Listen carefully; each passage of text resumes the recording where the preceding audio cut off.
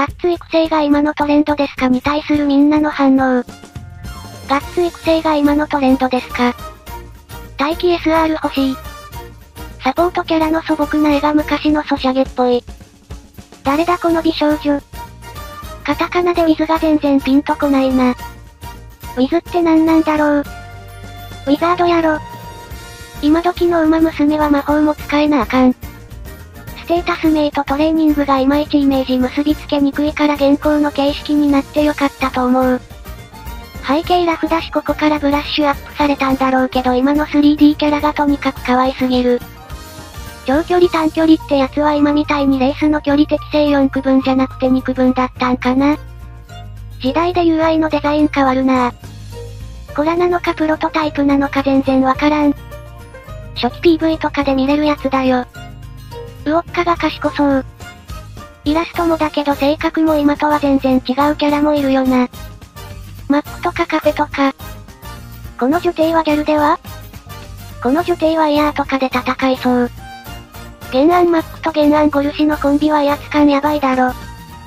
この頃は再現芸の最先端がプリコネだったろうから主流の横画面主体から縦画面の UI に切り替えたのはだいぶ思い切ったなと思う。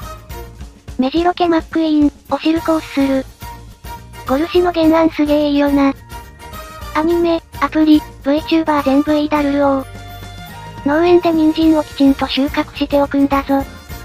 育成で体力回復できなくなるからな。無法つまんねえ矢印作り直すわ、2年。アニメ1期見てスポコン路線にしようってなったのマジでいい段よね。最初期は明らかにアイドル的な路線目指してた感あるよな。ウイニングライブなんかはその名残なんだろう。初期は音ゲーが育成に変わったデレマス路線だったのかなと思う。勘どころか初期の指揮者はアイマスの石原明宏がやってたから路線としては明らかにアイドル売り。そこら辺切り替わったのは、アニメ1期での杉浦正文伊藤淳之介のスポコン路線。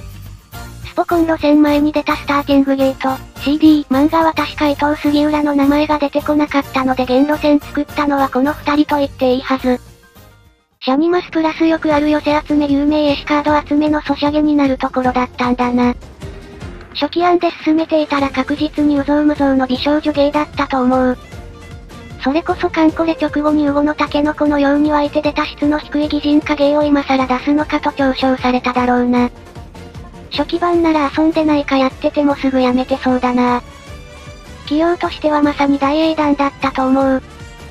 開発中のものは利益を生まないからな。作り直して全てが無駄になるかもしれない中、両作のアニメ2期を突然制作からの繋げてサービスを開始させるという理想的なムーブ。先が見えているとでも言うのか。結局延期の理由って単純に作り直しだったん？それとも許可の関係でごたごたしてる間に作り直したのかな？まあ権利関係での調整に難航してリリースまで時間があった可能性もあるからなんとも言えんが、原案のマックイーンは史実の性格そのままっぽくてこれはこれで。ゴルシもじいちゃんに似せてるのかただのミステリアスな美人になっちまってる。原案エアグルーブはギャル要素とベロちゃん要素がちゃんとあってすこ。原案したペロしてる理由ってそういうことだったのか。このゴールドシップってキャラもの静かなクールビューティータイプかな。かなり踏み込んだつもりのキャラ設定して原作関係者の方に見ていただいたら、こいつはこんなまともじゃありませんって言われて今の形に。ダメ出ししたの原作関係者だったのか。ソースが出てこない都市伝説の類、やたら言われるけど一度もソースを見たことがない。馬主が出すかを一番人気に、ってのと同じだな。話題が出るたびに訂正されるのに、何年経っても出続けるパターンか。今ナミさんはゴルシを育成したら馬より手を焼くってツイートしてたのはあったけど、叫びまくればパワーとスピードと勇気が上がるから皆も叫ぼう。爆心爆心。昔の PV とか今見返すと色々違い感じてすごいよな原案のゴルシとマックはラスボスの風格が漂ってますわ。距離、馬場、客室適正ともに全部 S ついてそう。キャラ設定黒歴史三重視。お金持ちのイケメン彼氏常時募集中。地に植えた要件のようにレースを制してみせましょう。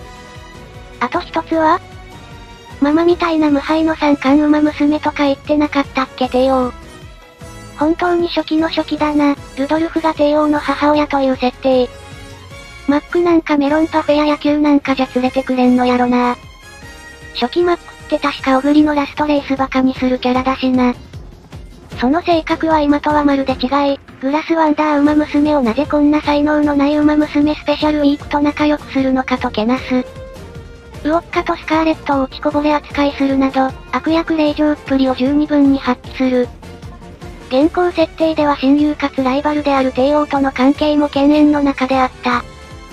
うららあたりに言うならともかくスペに才能ないは節穴が過ぎないかそれとも初期スペちゃんは原作ガン虫の才能ないキャラだったのか菊花賞で星雲スカイに負けているのがステイヤーとして許せなかったんじゃねでもスペは天皇賞春秋連覇してるんだから目白としては好感度高いはずなんだけど。